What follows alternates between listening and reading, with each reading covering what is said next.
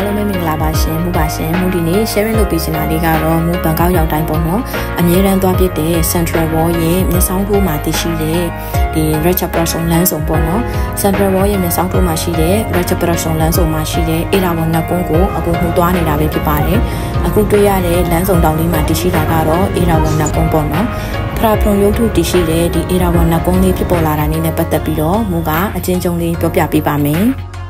ဒီနကွန်လေးဖြစ်ပေါ်လာရတဲ့အဓိကအကြောင်းရင်းကတော့ဒီ1952ခုနှစ်မှာပေါ့နော်ဒီ Richard Branson လမ်းဆောင်မှာ Grand Hyatt Erawan ဆိုတဲ့ဟိုတယ်ကိုဆောက်လုပ်ဖို့အတွက်ရဲချုပ်ကြီးကနေပြီးတော့တာဝန်ယူတာဝန်ပေးအပ်ခဲ့တယ်ပေါ့အဲ့လိုပေးအပ်ခဲ့တဲ့အခါမှာဆောက်လုပ်နေတဲ့အခါမှာဆိုလို့ရှိရင်အခက်အခဲတားဆီးတဲ့အနောက်ရှက်တွေရှိခဲ့တယ်1956ခုနှစ် လည်းရောက်နေရောက်ပေါ့ပေါ့နော်ဒီဟိုတယ်ကြီးဆောက်လုပ်ပြီးစီးသွားပေမဲ့လည်းဖွင့်ပွဲလုပ်ဖို့တွေဘလို့ပဲဖြစ်ဖြစ်ပေါ့နော်အခက်အခဲတွေအနောက်ရှက်တွေကအရန်ကိုများပြားလွန်းလာတယ်အဲ့ဒီအတွက်ကြောင့်မို့လို့သူတို့ကတွက်ချက်လိုက်ပြီးတော့ဒီဟိန္ဒူတွေရဲ့ယုံကြည်ကိုးကွယ်တဲ့ဖရာဖုန်နန်းနန်းကိုသူတို့တိဆောက်ခဲ့တယ်ပေါ့နော်အခုမြင်ရတဲ့ဖရာဖုန်ရုပ်ထုဟာဆိုလို့ရှိရင်ဟိန္ဒူတွေရဲ့ယုံကြည်ချက်အရဆိုရင်တိဆောက်တဲ့လက်ပြားဖြစ်တယ်ပေါ့နော်သူ့မှာက မျက်နှာလေးဘက်စလုံးရှိပြီးတော့တစ်ခုစီကမြောက်တောင်အရှိအနောက်ကိုကိုစားပြုတယ်အဲ့ဒါကြောင့်သူကဒီလောကရဲ့လူလောကမှာရှိတဲ့ကောင်းကင်ဘုံမှာရှိတဲ့အရာအလုံးကိုအမြင်အာရုံနဲ့ကာကွယ်ပေးနိုင်စွမ်းရှိတယ်အခက်ခဲတားဆီးကိုဖယ်ရှားပေးနိုင်ပြီးတော့သူ့ကိုရိုးရိုးတည်တည်နဲ့လေးလေးစားစားနဲ့ကိုးကွယ်တဲ့သူတွေဆိုရင်ကံကောင်းခြင်းတွေလက်ပွင့်ခြင်းတွေကိုပေးတယ်ပေါ့နော်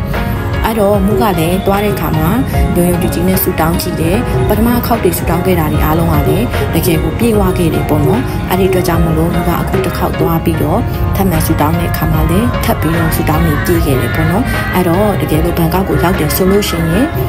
ဒီ Raja Production လမ်းဆောင်မှာရှိတဲ့ဒီအေရဝန်နတ်ကွန်းကိုလာရောက်ပြီးတော့ကုသိုလ်ယူပါအလူဒါနပြုရင်းနဲ့စုမုံကောင်းတွေတောင်းနိုင်ပါတယ်နိုင်ငံတကာခရီးသွားတွေလည်းအရန်ကိုစီကားတဲ့ဒီနေရာလေးမှာပေါ့နော်အချိန်ပြည့်လူဝယ်ဝတ္ထုတွေနဲ့အားလုံးစီကားနေတာဖြစ်တဲ့အတွက်ဘုကပြန်လည်နှောက်ဝေပေးရခြင်းဖြစ်ပါတယ်ရှင်